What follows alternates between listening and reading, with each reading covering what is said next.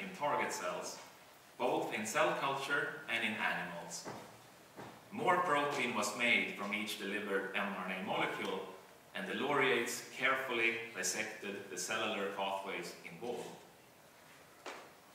Karikó and Weissman made fundamental discoveries of the importance of base modifications in mRNA, which eliminated a major obstacle to mRNA-based clinical applications.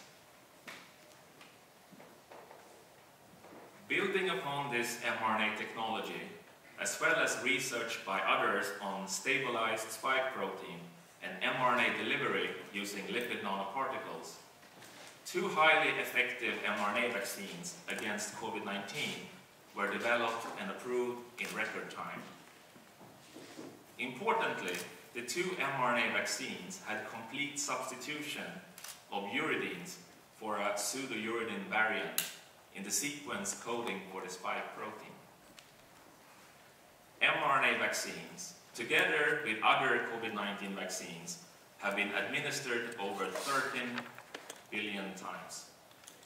Together, they have saved millions of lives, prevented severe COVID-19, reduced the overall disease burden, and enabled societies to open up again. The successful mRNA vaccines against COVID-19 have had a tremendous impact on the interest in mRNA-based technologies. mRNA technologies are now being used to develop vaccines against other infections. The technology may also be used for therapeutic protein delivery and cancer treatment in the hope of further improving human health. Here are the two Nobel laureates